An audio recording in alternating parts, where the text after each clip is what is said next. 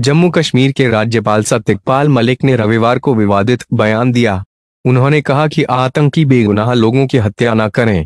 मलिक ने कहा कि आतंकी उन लोगों के खिलाफ खड़े हों, जिन्होंने कश्मीर को लूटा।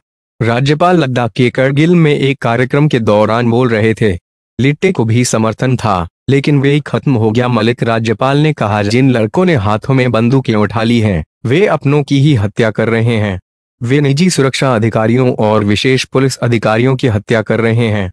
उन्होंने पूछा, आप इनकी हत्या क्यों कर रहे हैं? आतंकी उनकी हत्या करिए, जिन्होंने कश्मीर की संपदा को लूटा है।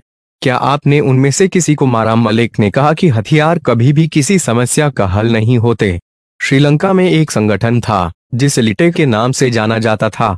उसे भी समर्थन मिला हुआ था, लेकिन वे खत्म हो गया। कार्यक्रम में उन्होंने पर्यटन पर भी चर्चा की। उन्होंने कहा कि करगिल और लेह में पर्यटन की बहुत संभावनाएँ हैं। यहाँ पर्यटन उत्सवों के और ज़्यादा होने की आवश्यकता है।